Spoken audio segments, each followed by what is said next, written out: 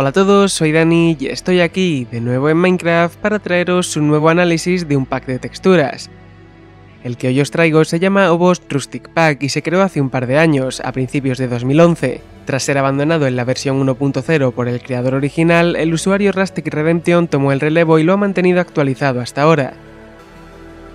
Como podéis ver, este pack de texturas es de 64 píxeles de resolución, lo que permite que los bloques y los objetos estén plagados de detalles.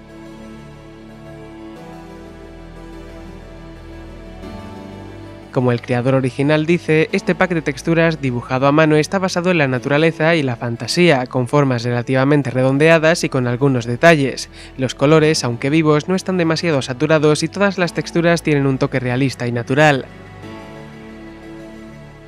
Está disponible para la 1.5.1 incluyendo texturas para casi todos los nuevos bloques y objetos de esta versión, aunque todavía hay un par de texturas que deben ser actualizadas.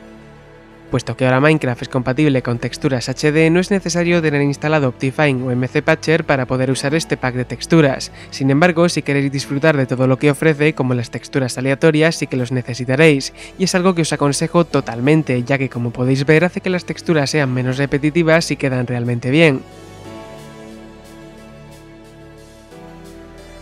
Por último, comentaros que este pack de texturas está continuado por la comunidad, así que si se os da bien crear texturas podéis ayudar a mantenerlo actualizado.